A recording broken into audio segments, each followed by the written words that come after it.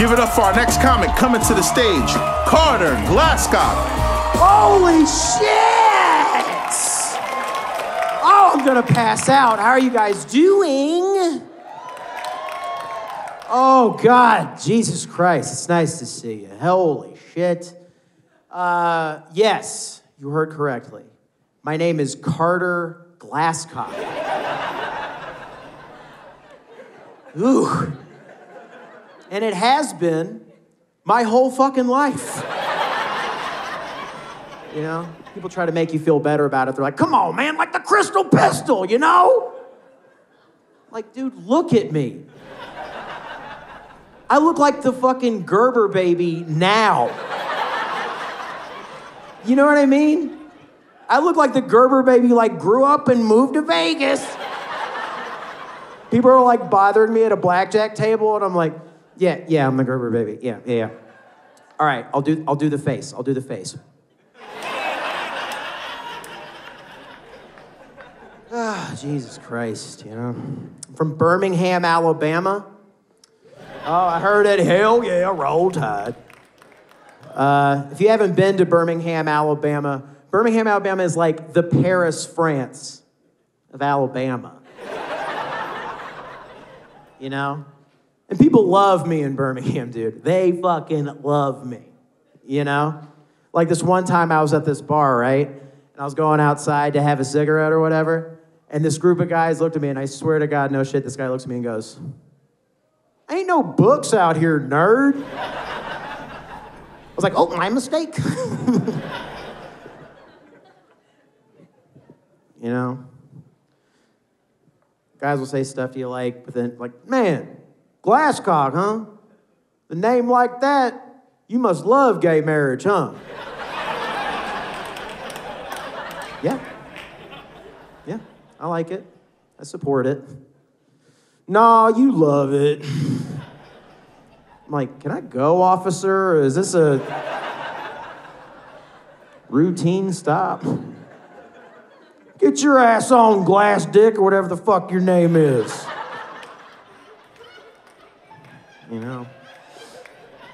A lot of guys in the South, they like want to make sure that you know they're straight, you know? They'll be like, dude, I like females, bro. Female, like they're aliens. Females. An eye comes up out of their head. Females for human cultivating. Human females. I've heard this phrase a lot in the South. Dude, she sucked my dick to completion.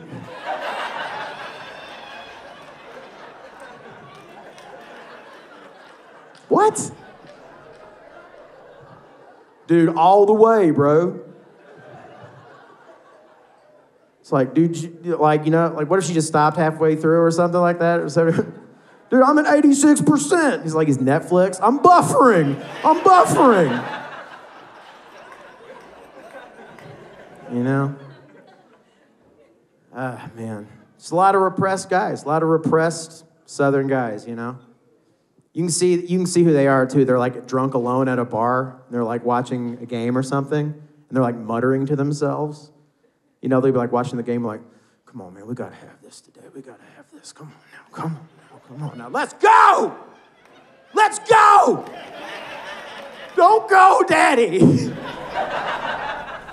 it's worse. It's like I'm saying, like, where's our boys at? You know what I mean? It's like they went across the street to get a pack of cigarettes and never come back. Let mom raise us. oh, Jesus. I used to work at a bar as you can tell by my, you know, demeanor. Uh, I used to work at a bar and I engaged a little too much. I think I engaged a little too much, you know? Like, I remember, like, most people just want to be left alone.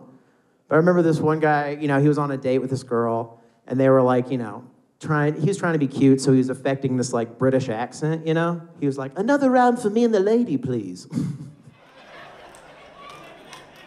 And I was like, okay, okay. I'm picking up what you're putting down. All right, all right. And I went with it, but like a little too much, you know? It was like, another round for you and the lady, you say? Oh my. Perhaps I'll have to go to the, the mess hall and get you a flagon of ale, yes? and like this. Uh, they didn't like that. Crickets. But you know, like when you're like doing something and you can't stop doing it?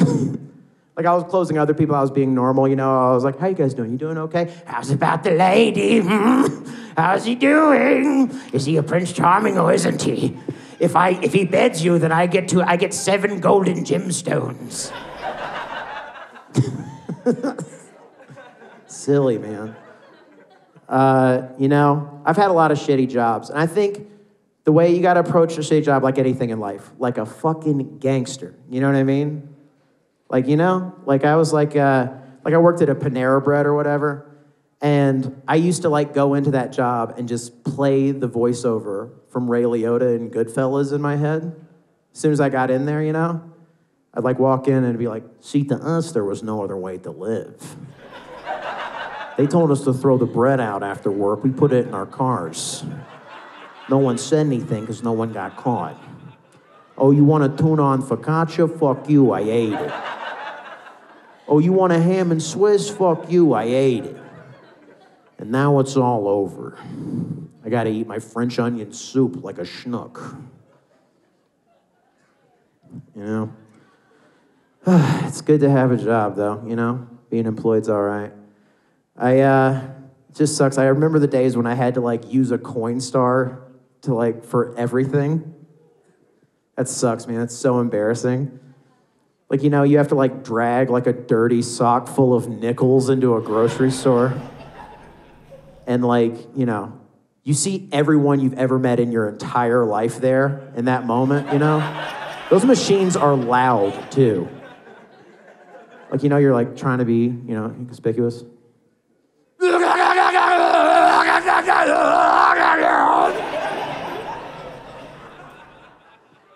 Like your ex girlfriend's there with her new boyfriend. They're in like the pharmacy section. I want to get the mega pack of condoms. I want to fuck all night. Oh no.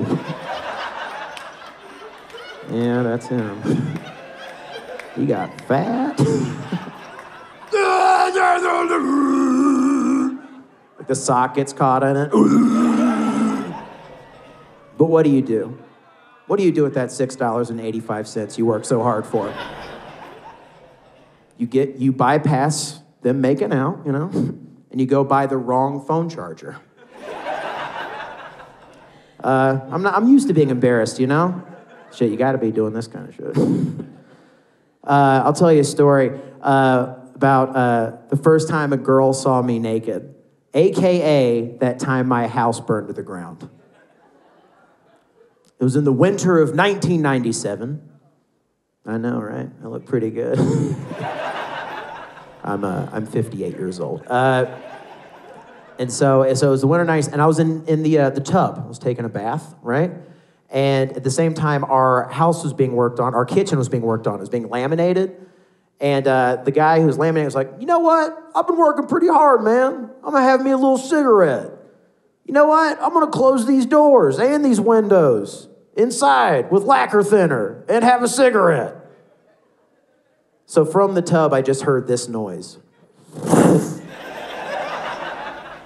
and I was like, I don't know. Using a flamethrower on the kitchen. My dad comes, he's like, There's a fire, there's a fucking fire, everyone get out, there's a fire. Like the cucumber slices fell off my eyes, like, Ooh, what? Like, there's a fire.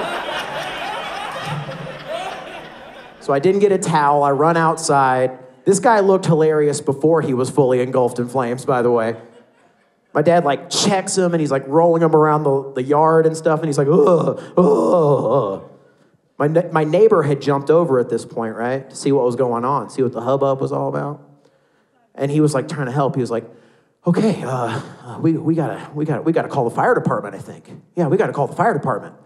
Uh, this is before cell phones. Like, who do we send across the street to call the fire department? Naked kid.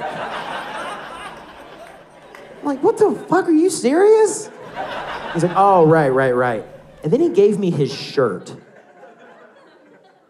Like, that's gonna help. Like, what am I just gonna Winnie the Pooh it across the street? You know what I mean? Like, what dick? And what this guy also failed to mention to me was that his daughter was having a sleepover with like every girl in my grade in it, and they all came to the door at once. There was a moment of silence between us. Then they looked at me and went, Ain't no books in here, nerd. Thank you guys very much for listening to me.